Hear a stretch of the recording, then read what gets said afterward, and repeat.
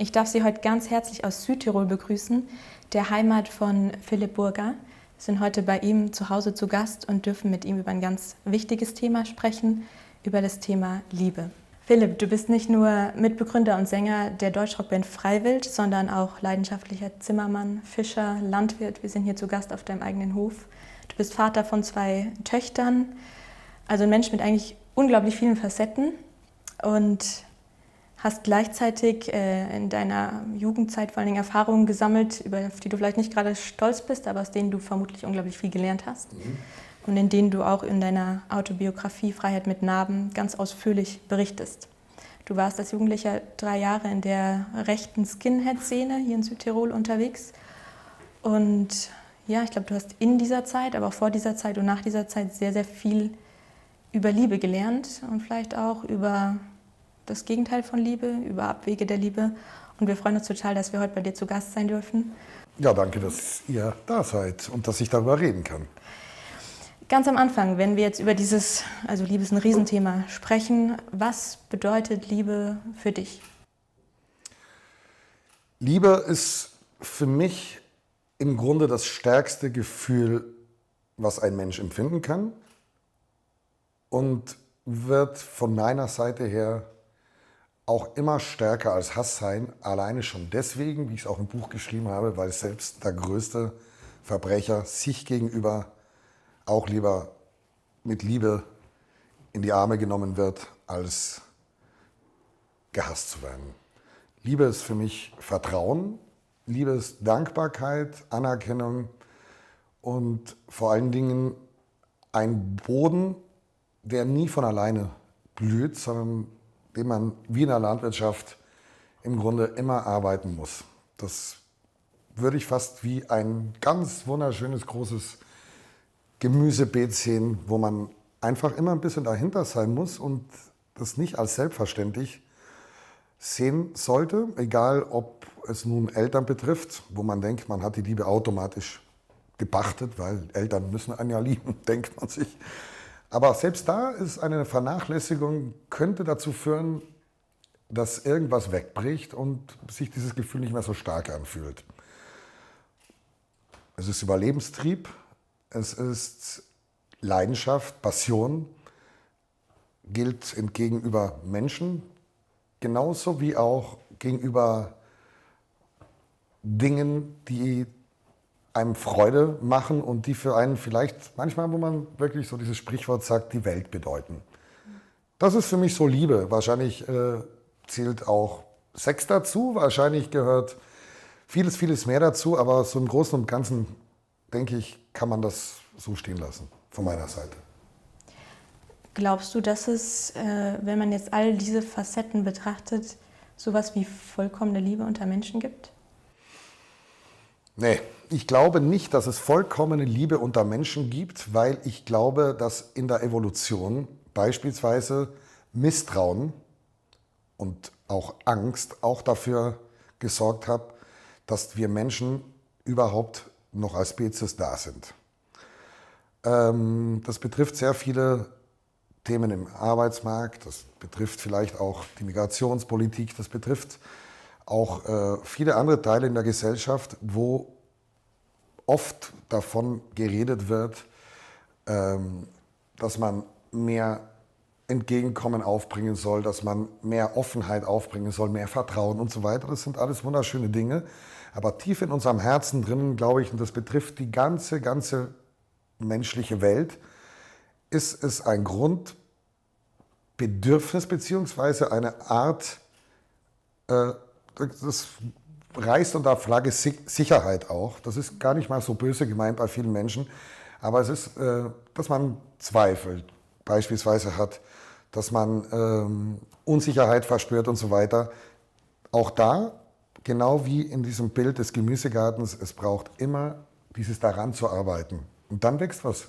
Dann wächst was zusammen und dann fühlt sich gut an. Glaubst du, dass man alle Menschen lieben kann? Ob ich jeden Menschen lieben kann, wage ich zu bezweifeln, ähm, weil ich natürlich davon ausgehe, dass Liebe eine Art Summe aus ganz vielen tollen Pflanzen in einem schönen Garten sind, die viel Pflege brauchen, die viel Zeit brauchen, die viel Beackern brauchen, die Geduld brauchen, vieler Worte bedürfen. Und deswegen würde mir die Zeit gar nicht reichen. Das ist auch logisch und physikalisch zeitlich gar nicht möglich, dass man jetzt sich so intensiv mit jedem Menschen beschäftigen kann. Aber im Großen und Ganzen gehe ich davon aus, wenn man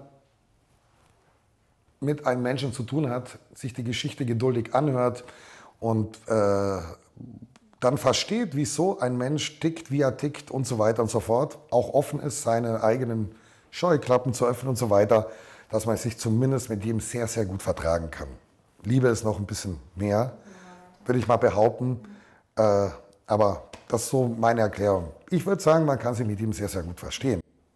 Ja, da klingt schon was an, was wir, wo wir später noch ein bisschen drauf kommen, eben dieses Miteinander reden. Ich glaube, wo mhm. du auch einfach ziemlich krasse Erfahrungen gesammelt hast, die dir oder nach wie vor einfach mhm. immer noch machst. Aber kommen wir später nochmal drauf.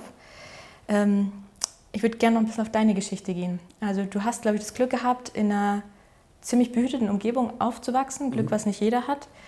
Wie würdest du deine Kindheit beschreiben? Was, was hast du in deiner Familie übers Leben, über die Liebe gelernt und mit auf den Weg bekommen?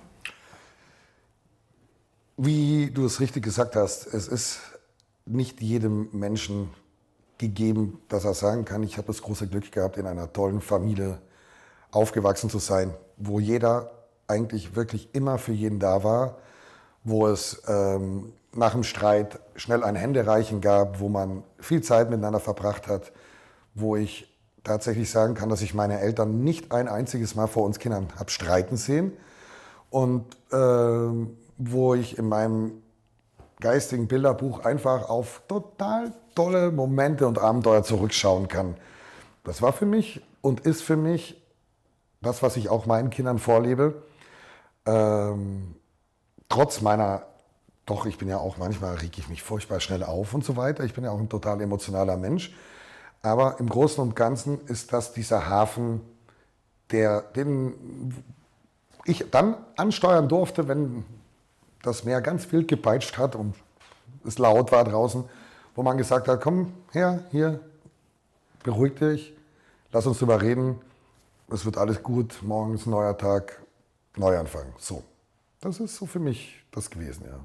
Und du hast deine Familie ja nicht immer ganz leicht gemacht, glaube ich.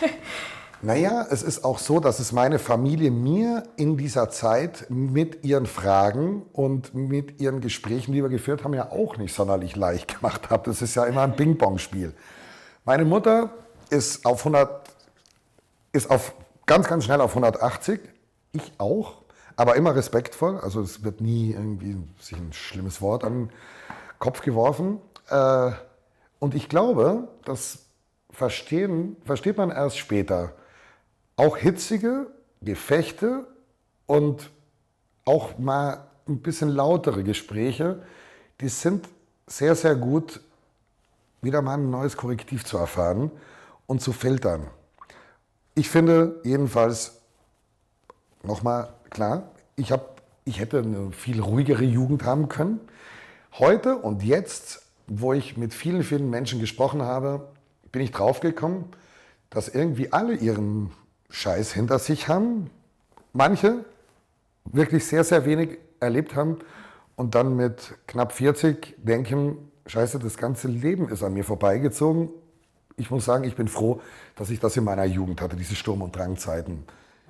Und äh, die anderen sind in Drogenhöllen gelandet, die anderen waren Dauerdiebe, die anderen äh, sind durch zu wenig Abwechslung in Depressionen gefallen. Und wieder andere haben sich nur auf den Job konzentriert, haben Burnout gehabt. Also das heißt, je mehr ich mit Menschen rede, umso, würde ich sagen, ähm, ähnlicher fühlt sich meine Vita an zu vielen, vielen anderen Leuten. Nur wusste ich es nie. Weil auch nicht jeder gerne über das spricht. Und ich meine, du hast äh, sicher eine besonders intensive Sturm- und Drangzeit erlebt, wie du es nennst. Ja, war lustig, aber war halt eben auch geführt von mir selber, meinem eigenen Holzkopf. Ja, und bestimmt deinem Temperament. Auch. Wie würdest du sagen, ist es dazu gekommen, dass du, also du beschreibst es an einer Stelle im Buch mit den Worten, ich glaube, geile friedliche Zeit der Kindheit gegen eine Zeit gegenseitiges, gegenseitigen Hasses mhm. einzutauschen. Mhm. Wie ist es dazu gekommen, dass du letztendlich äh, in der rechten Szene gelandet bist? Ganz vorneweg, ich glaube, kein Mensch dieser Welt landet oder wacht in der Früh auf und sagt, jetzt bin ich irgendwie ein rechter Skin. Das ist ja ein Prozess. In unserem Fall muss man die Geschichte Südtirols ein bisschen kennen. Ich überspringe die jetzt komplett, möchte aber darauf hinweisen, dass wir natürlich das große Glück hatten, erstmal wir, und wir hatten, haben nur wenige Städte in Südtirol, die gleichzeitig auf dem Fußballplatz sehr, sehr früh schon mit Italienern Fußball gespielt haben und so weiter.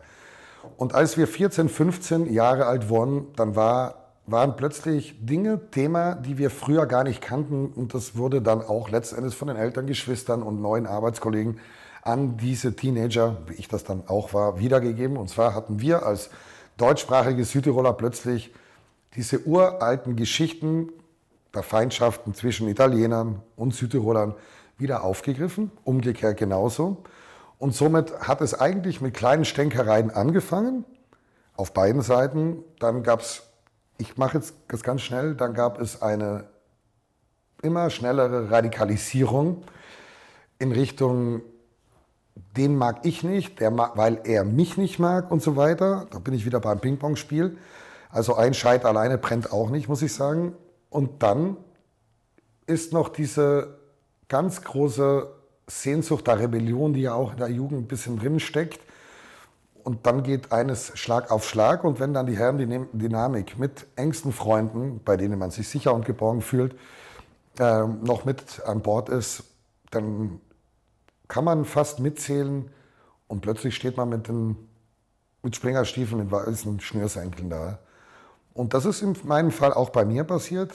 Und äh, zum guten Schluss ist jeder wieder draußen. Jeder hat sich die Hörner abgestoßen. Ich würde sagen, auch mehr aus den eigenen Fehlern gelernt als viele, viele andere.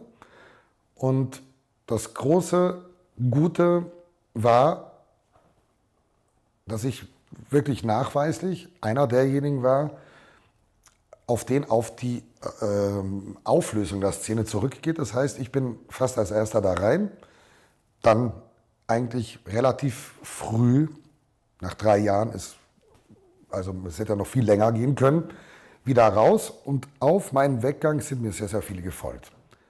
Das ist ja auch eine Art äh, gutes Gefühl hinterher. Bevor wir dazu kommen, was dich letzten Endes wieder eigentlich raus aus der Szene mhm. gebracht hat, relativ schnell, wie du sagst, ähm, was war das denn, was dich erstmal dort gehalten hat, auch drei Jahre? Also was waren so die Momente, vielleicht auch um andere Jugendliche zu verstehen, die in sowas reinrutschen, wo du gesagt hast, hey, das ist einfach super cool und äh, irgendwas ist gut daran, deswegen bleibe ich? Ich würde das Pferd jetzt mal von der anderen Seite aufsatteln. Wenn man mit dieser Optik unterwegs ist, mit kahl rasierten Köpfen, mit hochgekrempelten Hosen und mit äh, Tätowierungen und Bomberjacke, egal was, dann macht diese Optik was mit den Leuten, die auf dich schauen. Sie gehen auf Abstand. Wenn es gleichaltrige Jugendliche sind, dann ist es gar nicht mal so schön am Anfang, aber daran gewöhnt man sich. Dadurch, dass es mit diesen Leuten gar keine großartigen neuen Gespräche mehr gibt, weil man immer, immer enger in dieser Kapsel zusammenwächst, hat man gar nicht mehr sonderlich große Einflussnahme von genau dieser Bubble, die ich gerade nannte. Was dann schlimmer ist, ist, dass eigentlich diese Leute, die den Auftrag hätten, nämlich Jugendarbeiter, Sozialarbeiter, Betreiber von Jugendclubs zum Beispiel oder von Jugendkneipen, dass diese Leute meiner Meinung nach das absolut Falsche tun. In unserem Fall, im Nachhinein ist es de facto so gewesen, wir kamen einfach nirgendwo mehr rein. Und somit hat man diese Denkweise entwickelt und gedacht, okay, ihr wollt uns nicht, also wollen wir euch nicht. Ihr hasst uns, wir hassen euch. Und es hat wenige Leute gegeben, die anders agiert haben, die gesagt haben, euch tue ich erst recht die Tür auf euch schenke ich erst recht meine Zeit und meine Erfahrungen und meine Gespräche.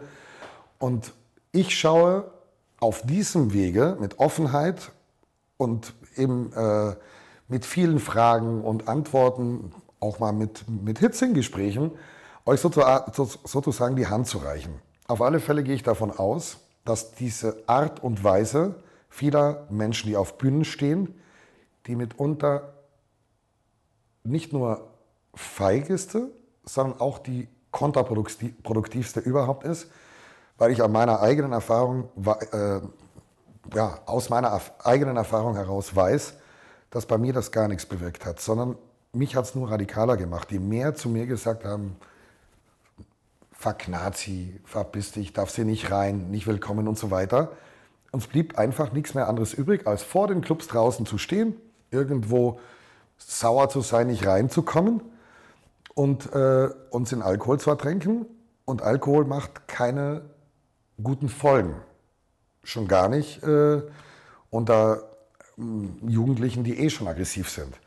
Und deswegen sage ich, ich wünschte mir diesbezüglich eine Art anderen Umgang mit Leuten, die man irgendwie auf dem Abstellgleis sieht und so weiter.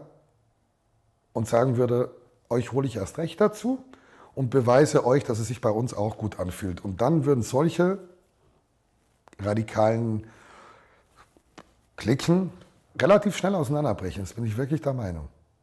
Also du glaubst, dass dieser, dieser Punkt der Offenheit, Ausgrenzung und so weiter eine große Rolle spielt, gell? Also Auf du hast das einmal, glaube ich, erzählt, so. auch bei euren Konzerten. Ich meine, ihr werdet immer noch in den Medien zum Teil in die rechte Ecke gestellt, freiwillig. Ja. Du selbst auch, ja. nach wie vor. Ja, nur ich. Also in der Band nur, nur ich. Fährt Zu Recht. Fährt ein bisschen ab. Ja, ja. Hast aber auch gesagt, dass ihr am Anfang, dann, wenn aber auch wirklich Leute aus der rechten Szene kamen, mhm. auch gesagt hat, nee, äh, dürft ihr nicht rein. Hast mhm. aber da auch irgendwann umgedacht. Ja, wir haben natürlich auch leicht lachen diesbezüglich, weil wir wirklich von Anfang an durch meinen Ausstieg aus der Szene, in der rechten Szene, so gehandelt wurden, ich gehe gar nicht zu dieser Band hin, Philipp ist ein Verräterschwein. Da gehe ich gar nicht hin.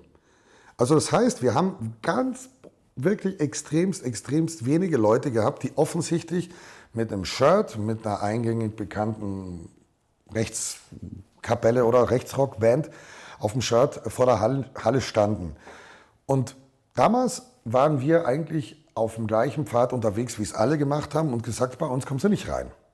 Hat sich dann super schnell vielleicht rumgesprochen, aber im Großen und Ganzen waren war dieses Thema, dass bei uns viele Leute aus diesem, äh, von diesem Schlag gekommen äh, sind, war einfach, das haben wir so nicht erlebt als Band. Und das ist auch bis heute geblieben. Das heißt, wenn vereinzelt bei einem Konzert von 15.000 Leuten zwei Leute am Eingang mit einem Shirt erwischt werden, dann habe ich jetzt die letzte Zeit unsere Securities gebeten, nehmt den Leuten bitte die Shirts ab, gebt ihnen ein neutrales Shirt und bitte die Leute reinzugehen und dann wirst du sehen, dass diese Leute da drinnen sich genauso benehmen und erstmal staunen, wie wohl sie sich fühlen, ohne im Endeffekt sogar aufzufallen oder sogar was befürchten zu müssen, weil ich möchte auch sagen, es gibt auch bei Freiwild sehr, sehr viele Leute, die bei einer falschen Handlung von Leuten mit so T-Shirts sehr schnell aktiv werden würden und diese Leute sehr grob aus der Halle befördern würden. Und ähm, egal, ob dass jetzt Leute waren aus der Antifa, die ich zum Beispiel auch in die Halle einfach in die Halle gebeten habe, weil sie gegen uns demonstriert haben, habe ich gedacht, jetzt probiere ich das auch mal. Jetzt muss ich mal mit denen reden. Und haben mir dann anderthalb Stunden Zeit genommen, haben den Bier gebracht, einfach und gesagt, jetzt schaut euch das mal an und kommt mal mit in die Halle. Und dann können wir mal über Facebook oder irgendwas schreiben. Und ein paar sind Fans geworden. Das ist meine, für mich bessere Art und Weise des Umgangs. Jedenfalls wirst du keinen drehen, indem du ihm sozusagen nochmal sagst, wie scheiße du ihn findest. Was soll das denn machen mit einem Jugendlichen? Außer zu sagen, alles klar, dann bleibe ich natürlich in meiner Bubble, die mich mag. Du warst ja doch drei Jahre in der Szene unterwegs und hast dich da ja durchaus auch relativ wohl gefühlt. Wo kam dann bei dir der Moment, wo du gesagt hast, irgendwie stimmt es doch nicht, irgendwas ist hier falsch, irgendwas äh, muss sich ändern und ich will hier raus. Was hat bei dir so ein Umdenken bewegt? Für mich waren es mehrere Dinge, die lustigerweise gleichzeitig geschahen. Es war einmal dieses erste unglaublich große Verliebtsein. Es war dann der Zivildienst, wo ich gemerkt habe, dass ich auf einem Holzweg bin, weil mir plötzlich Dinge wichtig geworden sind, die ich vorher einfach nicht auf dem Schirm hatte, wo ich viel Leid, gleichzeitig aber auch ganz, ganz viel, viele schöne Momente erlebt habe, wo ich ähm, Anerkennung bekommen hatte, die ich vorher so einfach nicht bekommen habe, wo ich mit Leuten zu tun hatte, die wohl oder übel mit mir reden mussten, weil ich ja auch viel rede, mit, äh, ob das jetzt Ärzte waren, Krankenschwestern oder sonst was. Und das hat irgendwie was gefärbt. Und da hat sich irgendwo in meinem Kopf ein Prozess in Bewegung gesetzt, der dann dazu gesorgt hat, dass ich natürlich auch immer öfter mit Aussagen oder mit äh, Diskussionen, auch längeren, ähm, dafür gesorgt habe, dass meine Akzeptanz innerhalb dieser Gruppe auch ein bisschen kritischer gesehen wurde. Das heißt, auf der einen Seite hat sich mein Gefühl für die Gruppe ein bisschen geschwächt und auf der anderen Seite sind viele Dinge passiert, die das alles ein bisschen aus, aus dem Lot rausgezogen haben. Und ähm, es ist auch in diesem Buch ausführlich geschrieben, wie dieser Prozess alles, äh, wie er funktioniert hat.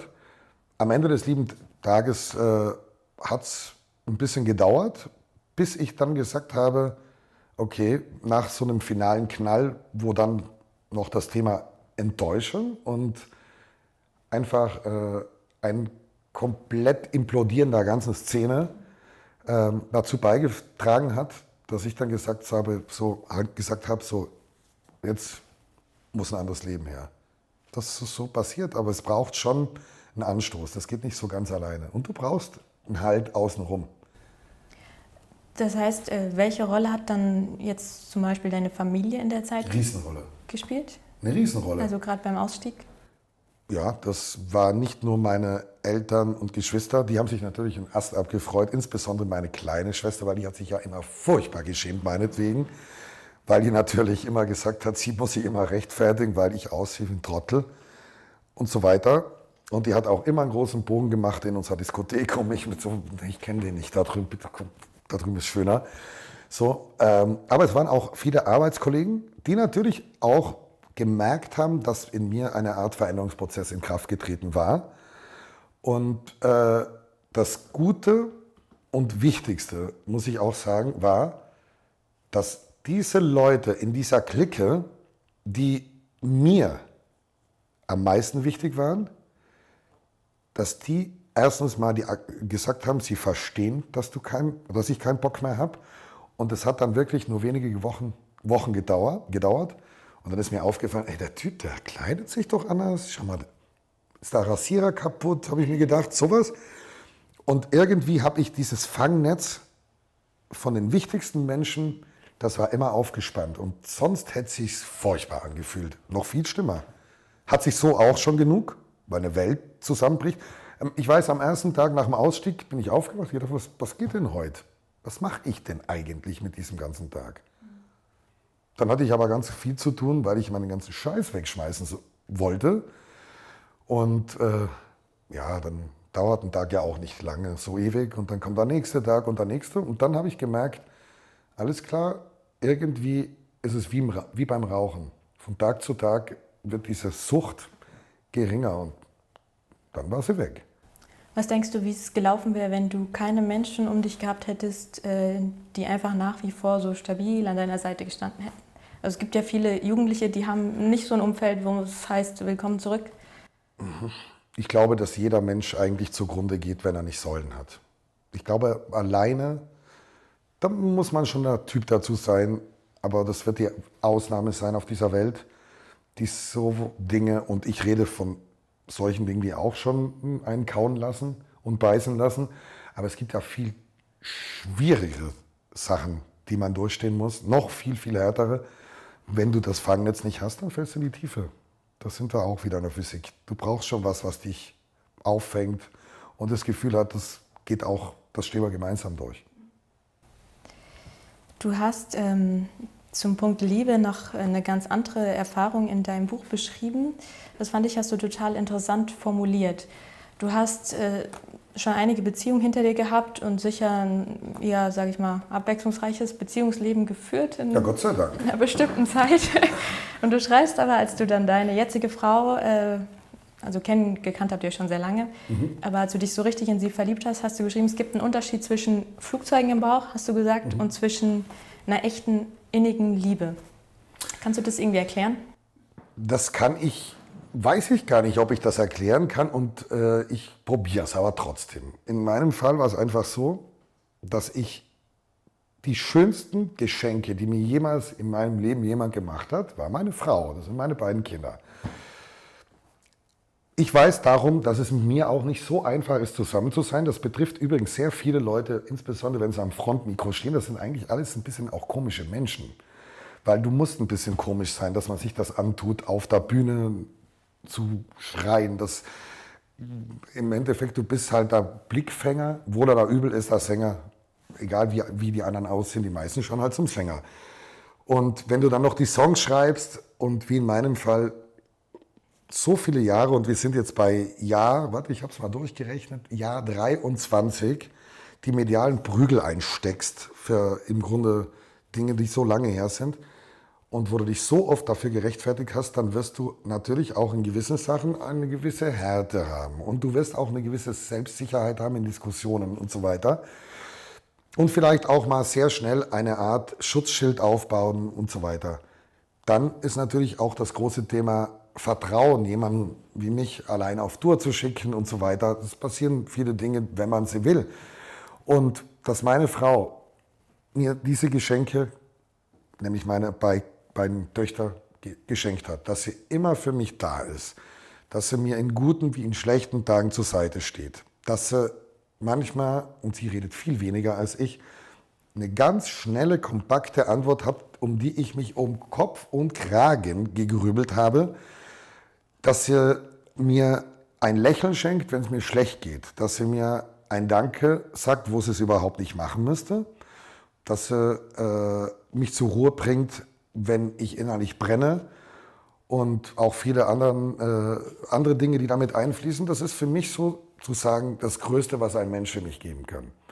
Und das ist der Unterschied zwischen schnellen Faltern mit zu viel Hormonen im Bauch und dem Beständigen. Das ist der Unterschied. Muss man das. Ich, ich hoffe, sie hört das, weil dann habe ich, einen, hab ich einen Joker. ähm, muss man das lernen, so zu lieben? Kann man das verlernen, so zu lieben? Also ich glaube, wenn man lernen? bei manchen Jugendlichen ein bisschen hinschaut, hat man so den Eindruck, die haben, haben diese Erfahrung einfach noch nie machen dürfen und wissen vielleicht gar nicht. Ist auch gut vielleicht, dass man es so früh gar nicht macht. Es gibt wenige Leute, die ich kenne, die den Partner fürs Leben mit 14 gefunden haben.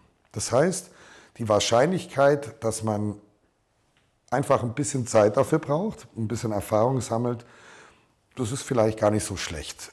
Ähm, ob man das lernen kann, weiß ich nicht. Ich glaube, dass es äh, zumindest sehr viel eigenes Zutun braucht, da hinzukommen, das zu spüren. Weil wenn das nur von einer Seite kommt, dann wird das auch nicht lange Bestand haben. Das heißt, irgendwo ist eine Dynamik drin in jeder Beziehung und diese Dynamik, die muss halt im Grunde so sein, dass es sich für alle gut anfühlt. Ich glaube, das ist das, wofür man kämpfen sollte. Kann und dann wird auch äh, der ein oder andere Moment kommen, wo man dann sagt, ja, du, es ist halt echt schwierig, jetzt müssen wir echt eine Lösung finden, wie das jetzt weitergeht. Wenn man denkt, man, dass eine Ehe oder eine Beziehung einfach so dahin plätschern wie ein idyllischer Bergbach, wo man nur zuschauen muss, dann funktioniert es nicht. Und selbst der trocknet manchmal aus. Jetzt hast du schon mehrfach von deinen Töchtern geredet. Mhm. Wie hat es dich nochmal verändert, als du selbst Vater geworden bist? Hat es, also denkst du jetzt anders über das Thema Liebe? Ach Gott, das weiß ich nicht, ob es anders ist. Ich weiß nur eines, dass ich mir, als ich meine Töchter in der Hand halte, geschworen habe, dass ich immer und ewig und in jeder Sekunde und egal für was da sein werde. Und das ist, glaube ich, das größte Liebesbekenntnis, das man geben kann. Und, das möchte ich sagen, das ist mir erst bei meinen Kindern bewusst geworden. und auch bei meiner Frau, dass das im Grunde das erste Mal die Überlegung da war, wo ich gesagt habe, für euch würde ich sterben.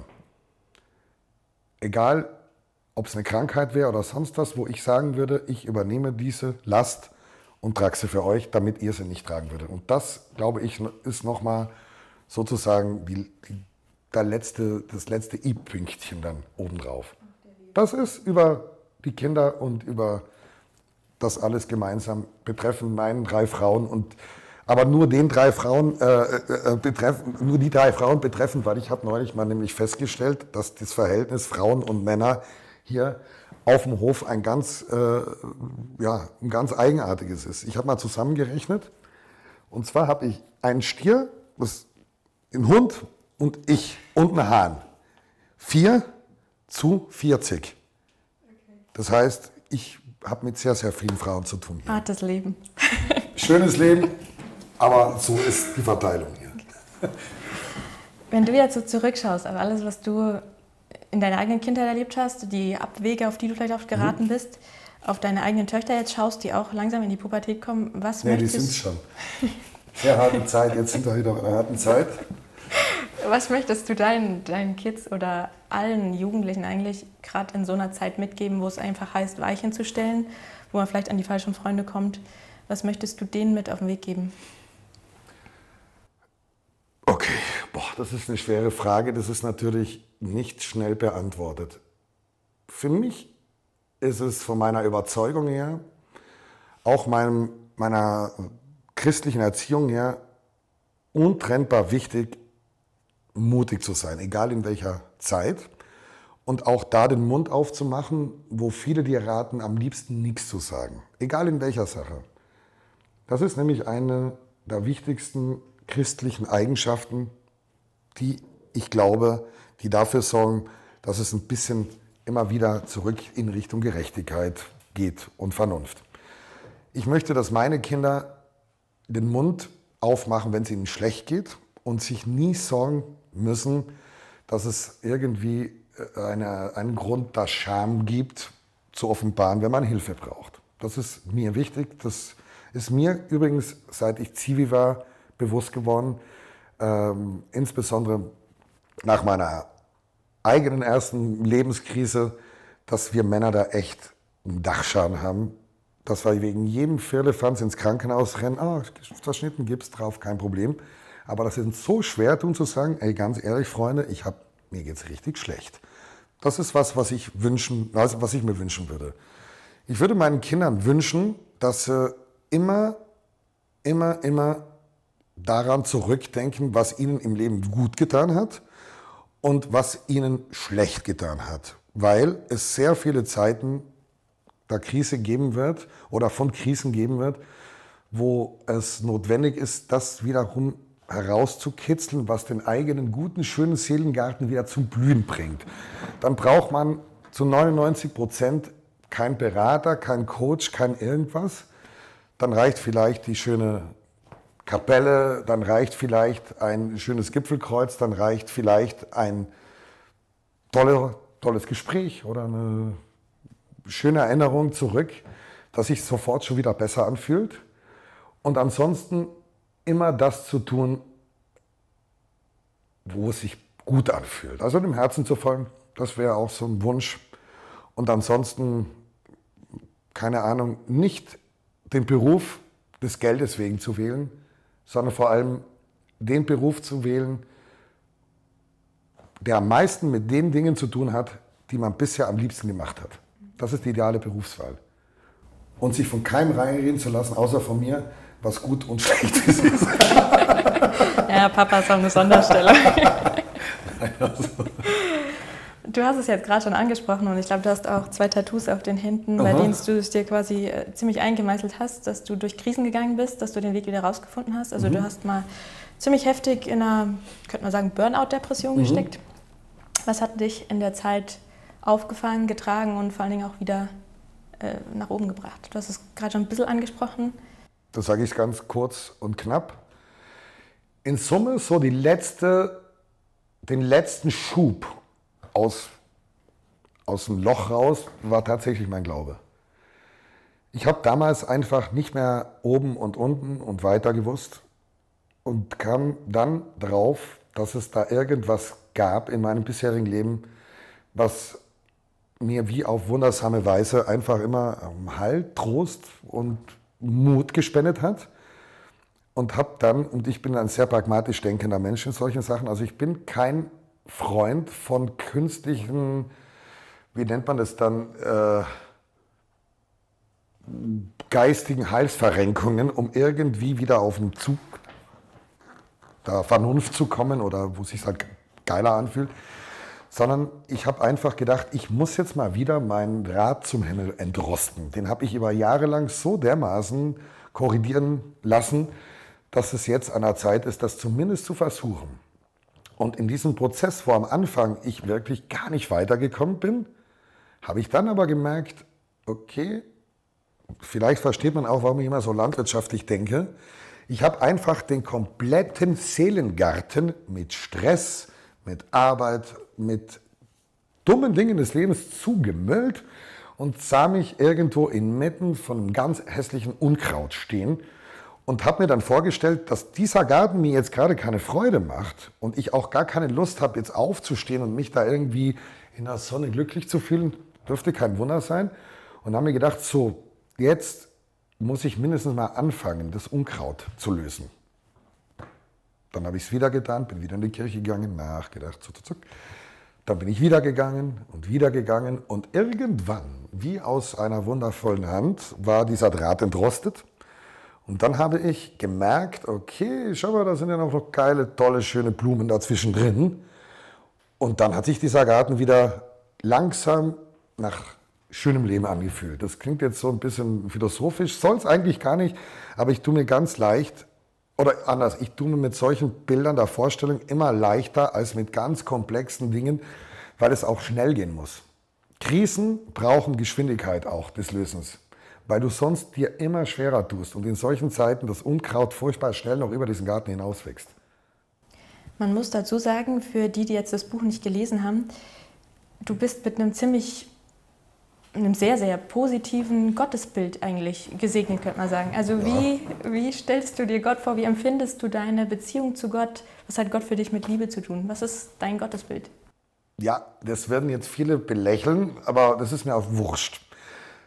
Ich brauche ein Antlitz Gottes in Form von einem alten Mann mit einem Bart, keine Ahnung so, ich weiß es nicht warum.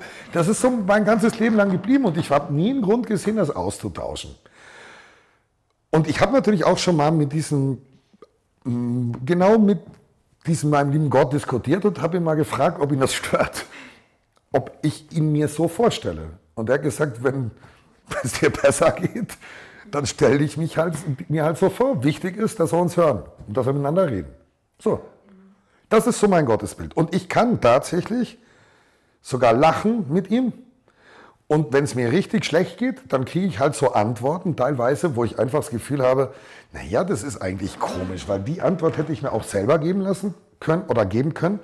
Aber habe ich erst in diesem Gebet gekriegt. Manchmal habe ich 0, gar nichts Lust, sozusagen diesen Ratschlag umzusetzen, weil ich mir denke, das ist ja so geil gewesen alles und das ist ja so lustig alles und toll und das will ich eigentlich gar nicht. Dann denke ich mir aber die ganze Zeit, ey scheiße, das ist eigentlich versprochen, dass du es machst und jetzt musst du es eigentlich machen. Und dann, wenn ich es gemacht habe, hat sich wieder super angefühlt.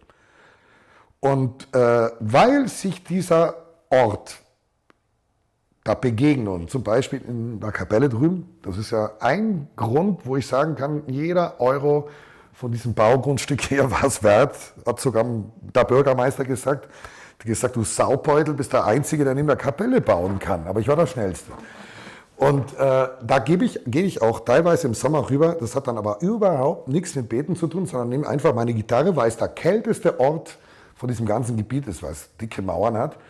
Und äh, da haben wir auch schon Akustikgitarren fürs Album aufgenommen und so weiter. Das ist für mich immer der Ort gebündelt mit den Gedanken. Und nochmal, ich hatte nie einen strafenden Gott. Also wirklich nicht. Der hat mir zumindest habe ich noch nie irgendwas empfangen, äh, dass ich danach das Gefühl hatte, jetzt geht es mir schlechter. Sondern es war immer aufbauend. Und so wollte ich es auch meinen Kindern mitgeben. Weil ich kenne auch andere Beispiele, die sind daran zerbrochen, weil sie sich ein schlechtes Gewissen einreden ließen. Und für mich kann ein guter Freund, so sehe ich das ungefähr, Freund ist ein bisschen zu wenig, aber ähm, würde mir nie ein schlechtes Gewissen einreden. Für mich ist jemand, der es gut mit mir meint, dafür da, zu sorgen, dass es mir besser geht und nicht schlechter. Ich glaube, du bist jetzt kein Mensch, der sagt, äh, du hast nie Fehler gemacht oder es, Nee. gibt, es gibt sowas wie gute Nee, ich habe furchtbar viele Fehler gemacht. Aber ich glaube, du hast ein ganz äh, spezielles Verhältnis zum Thema Vergebung. Kannst du da ein Mhm. bisschen was drüber sagen? Ja, dass mir immer vergeben wurde und ich vergebe auch jedem. Weil ich es bei mir gut finde und mir ja auch irgendwo erwarte, fände ich es furchtbar falsch und scheinheilig, wenn ich dem anderen Menschen gegenüber was abschlage, was ich mir wünsche. Also so ein bisschen gerecht muss es schon hergehen. Tue ich mir manchmal schwer, aber im Großen und Ganzen bin ich ungemein lösungsorientiert und äh, wirklich so gut wie überhaupt nicht nachtragen. Manchmal ärgert mich es sogar, dass ich zu wenig nachtragend bin, weil ich irgendwie denke, das gibt's doch nicht, dass ich jetzt hier keinen Groll mehr empfinde. Weil ich dachte, weil ich denke, das könnte vielleicht auch was bewirken bei dem anderen Menschen in, in Richtung Positives äh, sich verändern.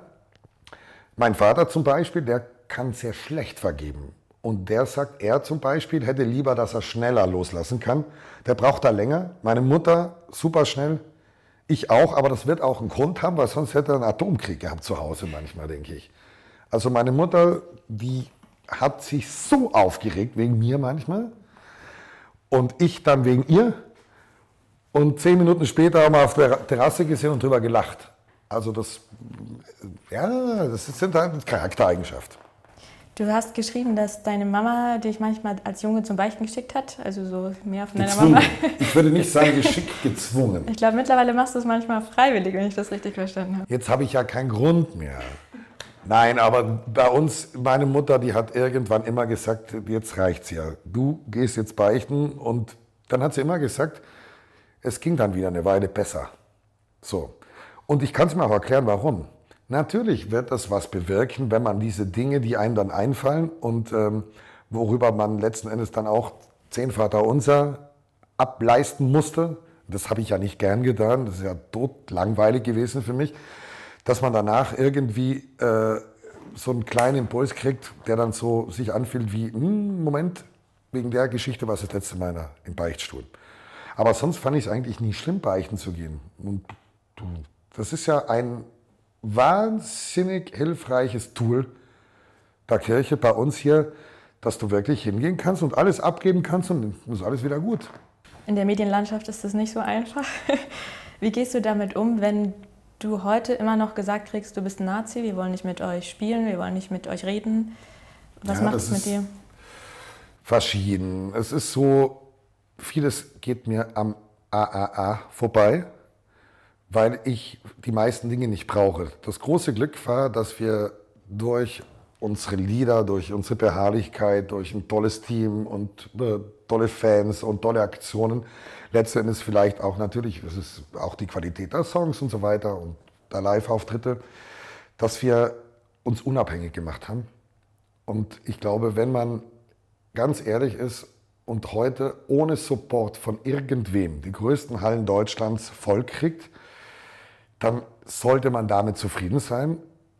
Und dann kommt natürlich auch was in Bewegung, wo du dir auch denkst, und das habe ich auch in, diesem, in dieser Autobiografie mit reingeschrieben, ich glaube ganz gegen Ende hin, ich bin mir gar nicht sicher, ob es nicht auch was Gutes hatte in Bezug auf uns und unsere eigene charakterliche Entwicklung, dass wir eben diese Grabenkämpfe außenrum hatten und intern so gut wie noch nie einen Streit und dass wir von vielen, vielen Dummheiten, die eben uns diese ähm, Isolation von außen erspart hat, wirklich heute da sind, sehr dankbare, glückliche Jungs sind, die sagen, eigentlich haben wir das größte Geschenk, nämlich von der Musik leben zu können und Hunderttausende von Leuten begeistern zu können, haben wir ja schon in dieser Form gekriegt. Und das zweite Geschenk zu sagen, wir sind wirklich immer wir selbst geblieben, konnten machen, was wir wollten,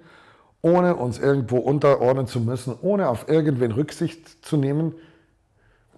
Viel mutiger Texte geschrieben zu haben als viele andere in der jeweiligen Zeit, hat sich jedenfalls immer super angefühlt.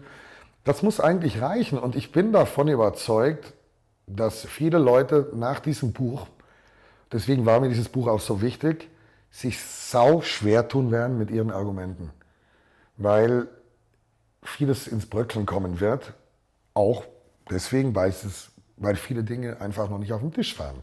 Das denke ich einfach.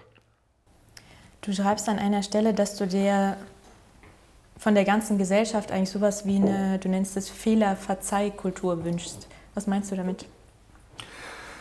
Dass ich die derzeitige Strömung, insbesondere der deutschen Gesellschaft, sich überlegen zu äußern, Menschen mit kritischen Stimmen verbal niederzubrüllen, Worte zu nutzen, die mich an eine ganz, ganz ekelhafte Zeit erinnern, nämlich Worte wie Leugner, und solche Dinge. Das ist ganz hässliche Vokabular äh, zu nutzen, Stempel zu verpassen, richtige Nazis im Endeffekt sozusagen fast schon, wie soll man das dann nennen eigentlich, äh, sozusagen, jetzt fällt mir das Wort nicht ein. Auf alle Fälle wird es nichts bringen, dass man Leute als irgendwas betitelt, was sie wirklich teilweise überhaupt nicht sind. Und damit redet man das, was andere wirklich tun, fast schon klein und auch dieses Wort. Ähm, ich möchte, dass die Menschen erkennen, dass wir in einer Demokratie leben und dieses hohe, hohe Gut, offen seine Meinung zu sagen, wohlgemerkt muss es dann aber so sein, dass man dann nicht trotzdem konsequent reden, sagen darf man ja alles. Aber natürlich hat es damit zu tun, wenn ich danach harte Konsequenzen zu spüren kriege, dann ist es auch nicht so frei, wie man das immer nennt. Und ich wünschte mir, dass die Menschen wieder zurückfinden zu einem respektvolleren Umgang und würde mich auch freuen, wenn Medien den Job so machen, wie es eigentlich Medien machen müssen. Und zwar über das zu schreiben, was wirklich ist und diejenigen zu kontrollieren, die die Macht haben. Das ist für mich eigentlich ein Auftrag der Medien. Dann werden manche Fehler, die nun mal jeder Mensch macht, auch, dann werden, werden Menschen mit Federn diese gemacht haben, dann werden die untereinander auch zu einem besseren Umgang finden. Weil wenn jeder mal ganz, ganz ehrlich ist, wir haben alle vor unserer Haustür genug zu kehren, ohne dass wir über andere herziehen müssen. Und deswegen haben wir uns in über 20 Jahren Bandgeschichte noch nie negativ zu einer anderen Band geäußert, egal wie hart die Einschläge waren. Weil wir immer gesagt haben, das ist nicht unser Ding, sie sollen das machen, wir machen unseres. Und es hat keiner Band was gebracht bis zum Schluss. Also da hat meine Oma immer recht gehabt. Die hat das nämlich immer gesagt. Kehr du vor deiner Tür und der andere gehört vor seiner Tür. Hast du genug zu kehren. Apropos deine Tür, eine Frage zum Abschluss. Ja. Wir sind hier in Südtirol und du hast also eine ganz, ganz große Liebe auch einfach zu deiner Heimat. Das kommt in deinen Texten durch, das kommt in dem, wie du lebst, durch. Äh, du hast eine unglaubliche Wertschätzung für deine Heimat, aber Heimat ist ja gleichzeitig auch ein Begriff, der vor allen Dingen dann, wenn es Richtung rechte Szene geht, oft falsch verstanden wird, missbraucht wird. Auch in der, in der linken Szene eigentlich. Was bedeutet für dich Heimat und was bedeutet für dich richtige, gesunde Heimatliebe? Und eben, was ist auch das, was falsch verstanden wird aus deiner Sicht? Für mich ist Heimat, trägt Heimat einen ganz wunderschönen Klang, untrennbar mit Natur, Dankbarkeit, Tradition, Nachhaltigkeit, mit Verantwortung für die Generation danach, mit Bräuchen und mit zusammen was erleben. All das ist so unter diesem wunderschönen, für mich wirklich wunderschönen Begriff, darunter beheimatet. Und Heimat ist für mich deswegen nie ausgrenzend, weil es für mich mit Überheblichkeit bzw. mit äh, sich besser als was anderes zu fühlen, äh, hat Heimat für mich nichts zu tun. Ganz im Gegenteil, für mich ist Heimat etwas, was selbstbewusst macht und somit eigentlich für Offenheit schafft, äh, sorgt. Das ist für mich Heimat. Und deswegen wünschte ich mir, dass man auch hier wieder dahin zurückkehrt, wo man dieses Wort auch mit dem Klang klingen lässt, wo es eigentlich herkommt. Das ist eigentlich alles. Das ist für mich Heimat. Ähm, eine Frage zu, zu deiner Frau noch. Ich glaube, ihr habt euch kennengelernt, da war das, warst du noch gar nicht so, so super alt und super erwachsen. Wie hast du das geschafft, als Deutschrocker, der äh, ja, nicht immer mit Hemd und Chinohose unterwegs war, deine Frau von dir zu überzeugen?